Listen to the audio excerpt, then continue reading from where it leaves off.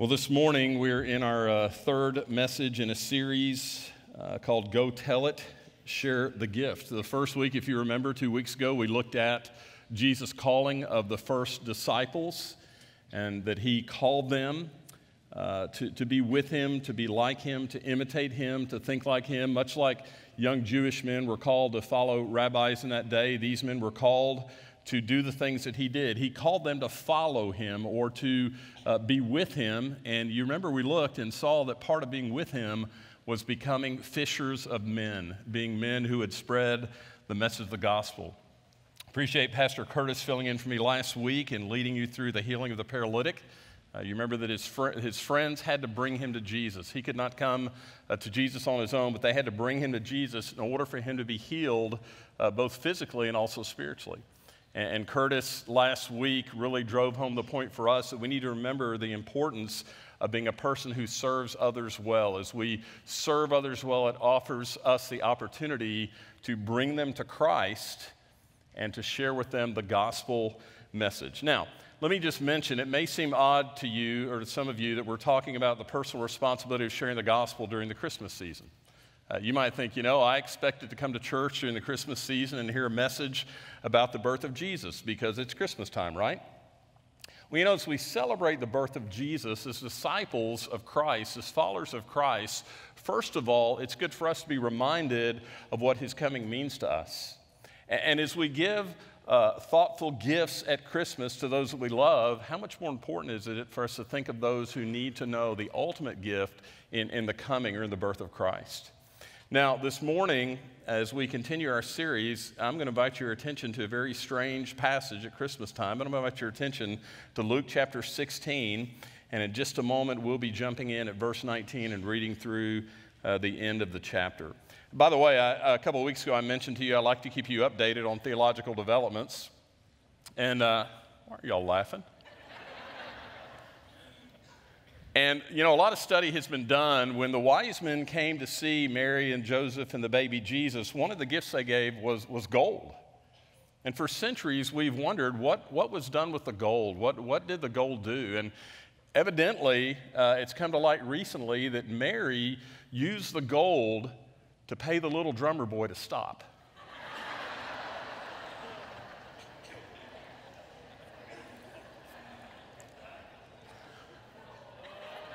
That's not, okay, look. I was going to say I missed you guys last week, but I, am not going there now. Rough, rough crowd. All right.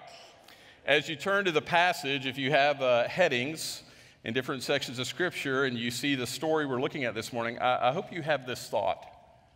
Why would the preacher preach this passage during the Christmas season? This is really strange. Listen, I want you to think it's really strange. In fact, I, am hopeful that tomorrow, as you go to work or to school, or you're in your neighborhood and you encounter people that also go to church and they ask you, Well, how was your service yesterday? I hope you tell them, Man, it was really strange. The message was just a bizarre message at Christmas time. And I hope you recount the message for them, because here's what I hope happens I hope the message that we're looking at today, every Christmas season, comes back to your mind. I, I, don't mind if you think it's really strange and really bizarre to preach this passage at Christmas time. I want you, the, the strangeness of this message, to always stick with you. What's it about? It's about a man who, who misses Christmas. He doesn't miss Christmas because he wasn't invited to the party. He doesn't, he doesn't miss it because he doesn't have the opportunity to receive the true gift of Christmas. He misses Christmas for the same reason a lot of people miss it today. He misses Christmas because he decided he didn't need it. It wasn't for him. He could just skip it. Luke chapter 16, starting in verse 19. There was a rich man who was clothed in purple and fine linen who feasted sumptuously every day. Hey, by the way, I went to Walmart yesterday. What a mistake. You know, there's enough food just in the local Walmart down the street here to feed about three impoverished nations. Do we really eat that much at Christmas time? I mean, because I don't see it like that during the year. Okay. Uh, verse 20.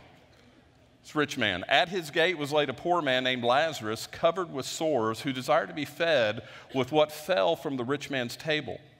Moreover, even the dogs came and licked his sores. The poor man died and was carried by the angels to Abraham's side. The rich man also died and was buried, and in Hades, being in torment, he lifted up his eyes and saw Abraham far off and Lazarus at his side. And he called out, Father Abraham, have mercy on me and send Lazarus to dip the end of his finger in water and cool my tongue, for I'm in anguish in this flame. But Abraham said, Child, remember that in your lifetime you received good things, and Lazarus in like manner bad things. But now he is comforted here, and you're in anguish. And besides all this, between us and you, a great chasm has been fixed in order that those who would pass from here to you may not be able, and none may cross from there to us. And he said, Then I beg you, Father, to send him to my father's house, for I have five brothers, so that he may warn them, lest they also come into this place of torment. But Abraham said, They have Moses and the prophets, let them hear them. And he said, No, Father Abraham, but if someone goes to them from the dead, they will repent. He said to him, If they do not hear Moses and the prophets, neither will they be convinced if someone should rise from the dead. Now, you probably know this, but Jesus spoke about hell more than heaven. In fact, Jesus spoke about hell three times more often in Scripture than he spoke about heaven. And, and what we just read is probably the clearest passage depicting hell. It's a testimony of what it's like to, to be in hell, and it's not found anywhere else in Scripture. You know, in Matthew 25, Jesus was warning the Pharisees and others who were playing the religious game, he was warning them that a great judgment was coming. And that that judgment, God would separate the sheep from the goats. Some would go to everlasting life, some to everlasting torment. And now, in this parable that Jesus tells, is a picture of what it's like to be in everlasting torment. What does it say? Well, the rich man, it says, habitually dressed in purple and fine linen. He, he had the finest, uh, most expensive garments that you could wear. He regularly put himself and his wealth on display every day. It was a big deal to him for people to know that he was a big deal. He lived lavishly. Every day was a party or a feast. And this rich man had the resources to obtain anything he wanted. Every day was an ostentatious, uh, lavish, luxurious event. And at his gate, we see was a poor man. He happens to be named, his name is Lazarus. He's covered in sores, he has nothing, he lives in extreme poverty. He's gross, he's filthy, dirty, unkempt and he has these open sores, oozing sores all over his body. Evidently, he's crippled because it tells us that he was laid at the man's gate. Literally, the Greek word is dumped. Somebody at least had enough compassion on him to dump him at the rich man's gate and hope that the rich man might do something to benefit him or, or to care for him. And if you look in verse 21, it says very simply, all he desired was this to be fed with what fell from the rich man's table. Now, let me, let me clarify what fell from the rich man's table. Sometimes you read that and think it's, it's crumbs. Now, unless you have a lot of kids in your home, there's probably not a lot of crumbs that fall to the floor, at least not enough to sustain someone. What happened at the rich man's table was they didn't have, uh, they didn't use napkins back then. They would come to the table and you ate with your fingers, and you might dip your fingers in some food that was food that was pretty uh, runny that had liquid in it, or you might dip your fingers in, in olive oil. And so, what you did to wipe your hands off was you took a chunk of bread and wiped your hands and threw it under the table, threw it on the floor. All Lazarus wanted was what fell from the rich man's table, but the rich man didn't even extend that courtesy to the beggar. Now, I'm not going to dwell on this point because I don't want to gross you out, but this phrase, dog came and licked his sores. Dogs were not domesticated at this time for the most part. So, what's happening here is mongrels, a pack of mongrels that probably wandered the city, were attracted to the rotting flesh on Lazarus' body, and they came and chewed on those sores.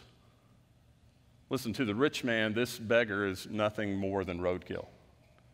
Think about day in and day out as he goes in and out from his place, as guests come for all the lavish parties and feasts that he throws. The beggar is there, and yet nothing is done for him.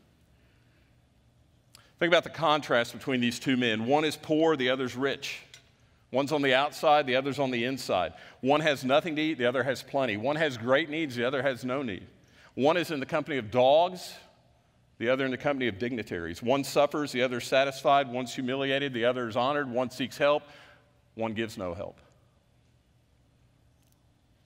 But an event happens that changes everything. And let me just pause here and say this if you're one who has suffered a great deal in life, it doesn't matter if you suffer every day of your life if you know Christ. Because the moment you step across the threshold from time into eternity, none of that will even be remembered. Look what happened. Verse 22 this event changed everything. The poor man died, and the rich man also. The poor man died, and the rich man also. It says when the poor man died, he was carried by the angels to Abraham's side. And just for simplicity, let me just tell you, he was, he was in heaven, he was in paradise at that point.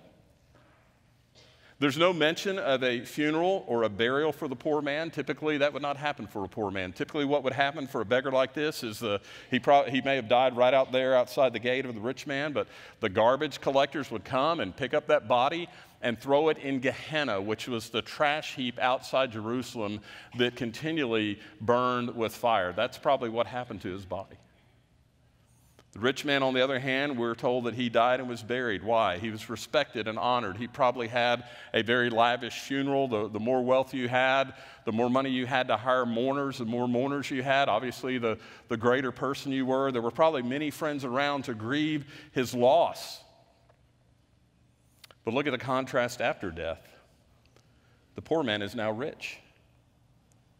He's on the inside, the guest at a, at a great feast. He has absolutely no need. He is satisfied for eternity. He's honored as a child of God.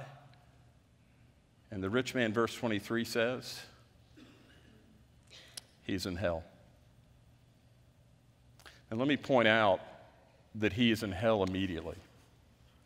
Some of you may have come from a religious uh, tradition that teaches there's a transition or there's a waiting place. There's even the, the possibility that after a time there may be a different outcome from your temporary assignment of suffering. That's not what Scripture teaches. There is no waiting place, there's no limbo, there's no purgatory. You remember when Jesus was on the cross and the one repentant thief asked him, Remember me? And Jesus said, When? Today you'll be with me in paradise. Well, this rich man, on that very day that he died, went to hell, and he is instantly aware that he's in hell. Scripture says here that he is in torment. It's not another opportunity. There's not a waiting place. There's not a chance that you might get out. He is in torment for all of eternity. What do we know? Let me, let me just pause the story here. And, and what do we know about hell from the Bible? Matthew 3 and Matthew 25. Hell is an eternal, unquenchable fire. Daniel chapter 12. It's a place of shame and everlasting contempt. Luke chapter 16, where we are, it's a place of torment. Revelation 20, the torment lasts day and night forever. Matthew 22, it's a place of darkness. Matthew 8, it's a place of intense grief. Mark 9, it's a place of terror. Hell is not a, a fictional place in the Bible, it's not an illustration. Hell is real, and hell lasts forever. It's a place of intense physical pain and torment, physically and, and mentally and spiritually. It's a place of sadness and hopelessness. If you ever, when you were in high school or college, um, had the assignment to read Dante's Inferno, which I'm not saying is good theology, but there's at least one good theological point in there. If you remember from Dante's Inferno, over the portal to hell, it says, Abandon all hope, you who enter here. It's a place of terror it's a place of isolation. I, I, can't tell you how many times as a student pastor, when I'd be trying to share with a young man specifically, sometimes a young woman, about where his life was headed, and he would say to me, Hey, I know I'm headed to hell, but that's okay. I'm going to have a great time. All my friends are going to be there. It's going to be a great party. You're isolated in hell. There's no party, there's no fellowship with others, and, and worst of all, hell is a place of separation. You're separated from the God who created you and who made you for himself. And you have a void in you that you've had all your life, but now that void is startlingly, startling real. And you realize you'll be separated from God for all of eternity. Hell is a place that you don't want to go, and you don't want anyone you know to go there. And what you see in verse 23 there's an imaginary conversation that Jesus tells in the story between the rich man in hell and Abraham. And, and by the way, this is one of the ways we know that the story is fictional. People in hell can't see into heaven. But Jesus, in, in telling this story, is giving us a little bit of understanding of what the rich man is going through. The first thing you see is he wants help or he wants relief. Well, that's not going to happen. You know, the toughest question, and it's really a simple question, but the toughest question that people ask about hell, if you're, if you're trying to share with someone and they're hung up on this, uh, on the issue of hell, the toughest question people ask you is why would a good God, why would a God who's loving, as you say he is, why would he send anyone to hell? Why would he make him suffer like that with no relief? The answer is very simple God sends no one to hell. God didn't create hell for man. Hell was created for Satan and the, and the demons that, that fell with him. We go to hell on our own volition because we refuse to accept Christ and his payment for our sin. John 3:16 is a verse that we love to quote about how God loved the world so much that he sent his only son. Look at verse 17. Jesus did not come into the world to condemn the world. He didn't come to send people to hell. He came that the world through him might be saved. The world, you and I, were already going to hell when Jesus came. He came that we might be saved. 2 Peter 3 9, God is not willing for any to perish, but for all to come to repentance, for all to have eternal life. The rich man's torment is not going to be relieved, ever, for all of eternity. Well, in verse 27, he makes a second request, and this maybe is his one redeeming value, one good thing, one act of compassion in his life, even though it's too late. And that is that he doesn't want his brothers to end up in hell. And so he asks that someone, Lazarus, would, would be sent back from the dead to tell him. He said, Look, if you'll send someone back from the dead to warn my brothers, that they'll listen, they'll believe. No, they won't. No, they won't. Do you remember last, uh, last spring when we studied through the book of Acts? We saw repeatedly in the book of Acts that, that miracles validated the message. If you don't believe the message, you just explain away the miracles. Someone coming back from the dead is not going to cause them to believe. They're not going to believe that messenger either. If you look in verse 29, verse 29 tells us why people go to hell. Very simply, they don't listen to the word of God. They don't believe what the Bible says about salvation. They won't repent and believe. They, they, they won't forsake their own ability and their own self reliance. They won't abandon themselves and come to a true and living God.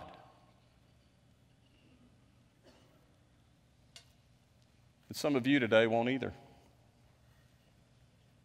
You're still playing a game, the, the same religious game that the Pharisees played. Jesus isn't Lord of your life. You haven't surrendered to Him. You're a faker. Now, here's the point of the story. Here, here's what I want you to hear today. This is, first of all, not an attack on rich people. I know plenty of people of, of great means who love and, and follow Jesus. This message is not about scaring you into trusting Christ, although some of you need to seriously consider what hell is like. Here's the deal this morning there are probably a few people in this room and in the venue, there are probably a few people that are headed to hell and you need to be saved. You need to at least speak with one of our pastors or, or, a friend that you know that knows Christ and hear the truth so you can make a good decision about your eternity. And let, let me pause here and mention this. Every service, we want you to have opportunity to respond to what the Word says. Not just those who don't know Christ, but all of us need to respond. And sometimes we need some help and direction in our response. In this service, in this room, at the end of every service, we close with worship, and their pastors in the front of the, the two outside and the center sections. They're worshiping just like you, but they would long for you to just come in and slip in beside them. You can interrupt their worship if there's something you need to know or a decision you need to make for Christ. There are also pastors in the lobby following the service. I'm over at Guest Central. You're more than welcome to come interrupt me. Up in the venue, there are pastors at the end of the service. As, as you close in worship, there are pastors there. That's what we're there for. You should never walk out of a place like this having heard the Holy Spirit speak to you and not do something about that decision. We're there to help you. Some of you this morning need to be saved, you need to respond. But, but here's the reality this morning in this room and in the venue. The vast majority of us who are gathered here this morning already know Christ. We're, we're not headed to hell. Now, we were until we received the message of salvation, until we trusted Christ, we were headed to hell. But you know what? This message about hell this morning, if you're lost, yes, it's for you, but primarily the reason we're looking at this this morning is not for the lost, it's for those of us who already know Christ. What? Why? Why do I need to hear a message about hell? Because, like me, you've forgotten what it's like to be headed to hell. You see, we live in a generation of believers that don't want the burden. They, that they don't want to hear a message like this. They don't want the weight and the responsibility that comes with hearing this message. Listen, Jesus is not going to allow a messenger from heaven or hell, Jesus is not going to allow a messenger from hell to come back and warn people. So, so let me ask you to help me with this question this morning. If he's not going to let anyone come back and warn people, who's going to warn people? Who? We are. No one else has that responsibility. We have the responsibility. Listen, the angels don't have the responsibility. They're not going to magically appear to people and, and, and, warn them. That's not their job, it's our job.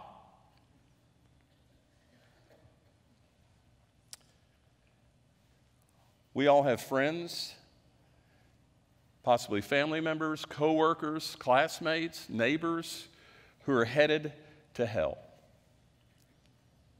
Now, they may not be as mean as this rich man. They may not be as self centered as this rich man. They may not be as godless as this rich man, but if they don't have a relationship with Jesus, they're going to hell. If, the, if they haven't heard the truth and responded to the truth, they're going to hell. How will they hear the truth? From us. Oh well there's all kind of preachers on television. There's all kind of preachers on the radio. Sure. And there are people who stumble across that and hear the message and respond. But the most effective method of sharing the gospel is one to one it's relational it's not typically going to happen that someone just hears a message out of their context because they're in their car, on their television, surfing. That typically doesn't happen. It happens most effectively when we speak the truth. Listen, you can't just look at a person's life and assume, well, you know what? They're, they're a good person. I'll bet they're okay. There are going to be a lot of good people in hell. There might be more good people in hell than evil people in hell because there's a lot of good people that don't know Jesus. You might look at the life of that friend or coworker or that neighbor and say, well, you know, every once in a while I hear them talk about going to church and they, they seem to be pretty religious. There'll be a whole lot of religious people in hell. A whole lot of religious people in hell. Even people that went to church on a regular basis. Even people that were involved in a small group or a Bible study. The only way you can know if a friend or loved one knows Jesus is to ask them.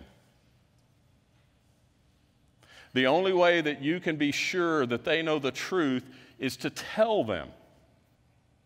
Can I get an amen on that?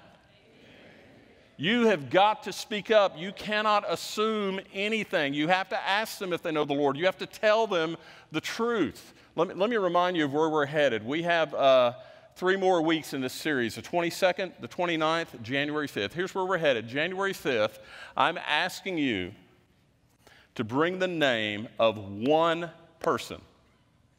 Three years ago, we asked for names to pray for. Some people turned in 10 names. I'm asking you for the name of one person that you would say, I'm not just asking the church to pray for this person to come to Christ and leaving that work and responsibility to them. We're, we're going to pray. We're going to join you in praying for that one person. But please don't turn in a name unless you are committed to doing what you can to speak the truth of the gospel to that one person in 2020. It's going to be a partnership. We're going to pray with you, but you can't just sit around and expect it to happen.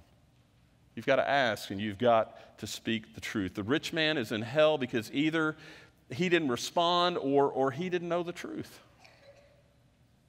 Listen, why is this an important word at Christmas time? Because the meaning and message of Christmas is not just a precious baby born in a manger, it's more than that. The, the message of Christmas is that God sent his son, his only son. And Jesus came and he took the full wrath of God on him. He experienced hell for us because of our sin. And he willingly laid down his life so that we could be forgiven, so that we could have a relationship with God, which is what he made us for, and so we could have an eternity in heaven. The gift of Christmas was given to you and given to me so that as a follower of Christ, we could give it to others. That's why we have the gift. Let's suppose that I, I like you guys, okay? But for now, you guys are the outsiders. Okay? You're, you're outside our walls, you're outside our faith, whatever. What if we all, because it's Christmas time, we all said, man, we're going to have this incredible party we're going to celebrate, and word gets out. Word gets out. There's this big party. We call it Christmas. But you're not invited. You remember the hurt of that when you were in maybe middle school or high school? Being left out? Not getting to come to the party? That's not what God intended. What about, let, us say that you're here and there's a, a far country called the venue. It's in another place. Or if you're in the venue, there's a far country where they speak blended, whatever that is. okay, but wherever you are, there's this other people group somewhere away from you, and you know that they need to hear this message, and so you pray, God, please send someone to tell them the message. No. That's why we go. Uh, that's why we give. I think Pastor Jason mentioned the mission offering earlier. The reason that we give is to make sure that they're going to hear the message. But we can't just give, we also have to go, whether it's in another part of the world or across the street or to the desk next to mine, whatever. We have to do it. The reason that we have been given the gift that we celebrate at Christmas is so we can give it to others. I hope that you will forever remember Christmas of 2019 when your crazy preacher didn't preach on the birth of Jesus, he preached on the rich man in hell so that you would not forget that there are people around you that are going to split hell wide open. They may be good people, they may be religious people, they're going to split hell wide open, and it's on me and on you to make sure they know what Christmas is about and they receive the message of the gospel.